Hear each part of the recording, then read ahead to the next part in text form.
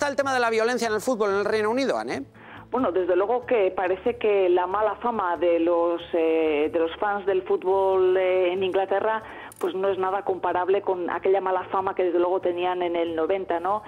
Sobre todo después de, después de esa tragedia de Hillsborough en el 89, que sorprendentemente, fíjate, hace dos años, eh, veintipico años después de la tragedia, se hizo una investigación independiente y eh, la conclusión fue que los culpables de aquella tragedia no fueron los fans, sino fueron eh, las medidas de seguridad que se habían tomado que, que evidentemente pues desde luego no eran adecuadas y 96 personas, como decías, murieron aplastadas. Pero fíjate, después de aquella tragedia, obviamente, bueno, pues, eh, pues tuvieron que poner la casa en orden y, bueno, se controló muchísimo a los hooligans. Eh, al parecer hubo muchísimas redadas y, eh, en sus sedes y en los lugares de, de reunión y sobre todo lo que hicieron fue prohibir la entrada en los estadios, en los estadios a los a los hinchas más violentos, ¿no? A los hooligans.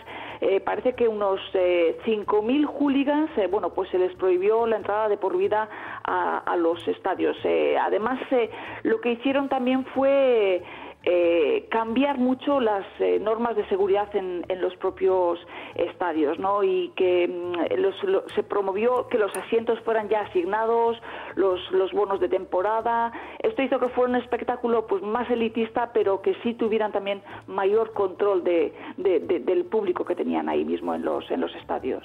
Son medidas mano dura contra este tipo de grupos y medidas que bueno, pues que llegaron quizás para muchos tarde porque había muertos ya encima de la mesa, hay muchos y eh, ahora lo que estamos viviendo es otro episodio con un muerto, en este caso ayer en Madrid. Ana Roteta, corresponsal de ITV en Londres, es que ricasco. Arracha León.